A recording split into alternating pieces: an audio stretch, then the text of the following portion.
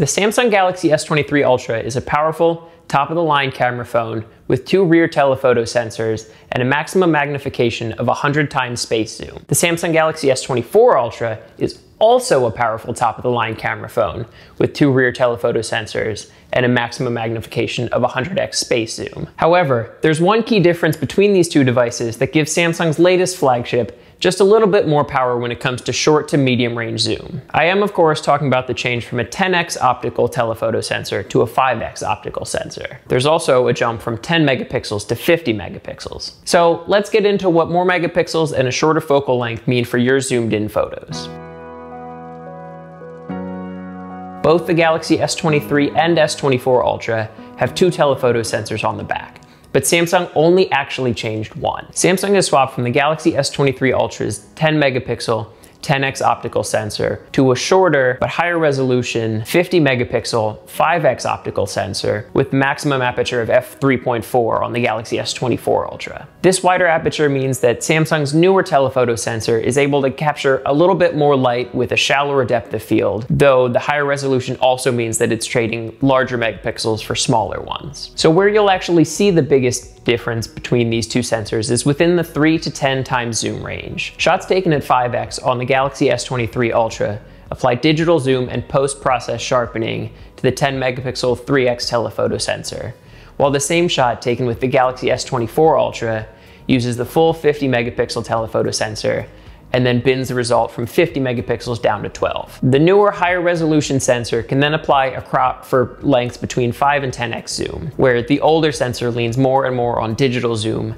until you hit that 10x optical length. Let's get into some real life examples. The first comparison comes courtesy of my colleague Rob, who took his S23 and S24 Ultra out for a sunny walk in the UK. It shows an image of a clock on the side of a church taken at 5x zoom with both devices. The difference in color profile is immediately apparent with the newer S24 Ultra delivering bolder colors across the board while the older Galaxy S23 Ultra comes in a little bit lighter and suffers from color bleeding in some of the highlights. Perhaps more importantly, the images show the difference between using the entire sensor versus combining a digital zoom with sharpening in post. The Galaxy S24 Ultra looks much more natural, especially when you're comparing the white stains on the gray stone of the building. They're visible in both shots, though the Galaxy S24 Ultra treats them more like part of the scene, while the older Galaxy S23 Ultra sharpens them and enhances them and they ultimately end up looking like white paintballs on the side of the building. The difference in quality is even more apparent when you pick out an image that doesn't let either camera use its optical zoom. In this case, that means a 6x zoom image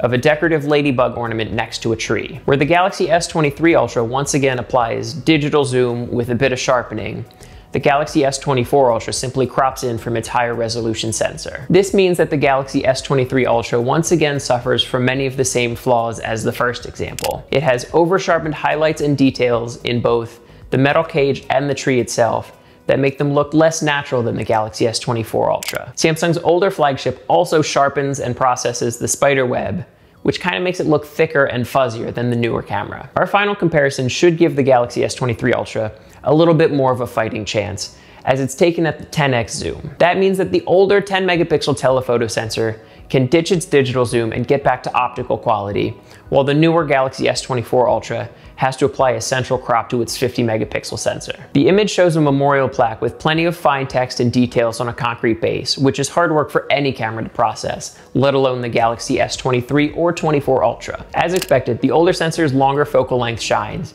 capturing more detail in both the bronze plaque itself and the concrete base. The lighter color profile means that you can see some of the darker details within the plaque itself, where the Galaxy S24 Ultra kind of washes them out. Further, on the Galaxy S24 Ultra, the base of each letter looks a little bit fuzzy, which is kind of hard to make out. Looking at the Galaxy S23 Ultra image, you can tell that it's honestly just the part of the letter where it meets the darker plaque. One of the bigger differences that I noticed in this example, however, is the green stain off to the right side of the concrete base. The newer Galaxy S24 Ultra processes the green color and makes it thicker, almost like a layer of paint on top of the concrete base. But the older Galaxy S23 Ultra accurately keeps it a lighter color and just shows more like green discoloration that's sunk into the concrete itself. The results of our Samsung Galaxy telephoto throwdown shook out pretty much how I expected them to. The newer sensor shines at shorter zoom lengths, everything shy of 10x, while the older sensor packs a little bit more punch once you hit that double digit zoom. And honestly, this is pretty much exactly why Samsung made the switch in the first place. It identified that most of its users spend their time between 3x zoom and 5x zoom, so it wasn't really doing a full service offering a 10x telephoto sensor. We'll have to see how this switch plays out over time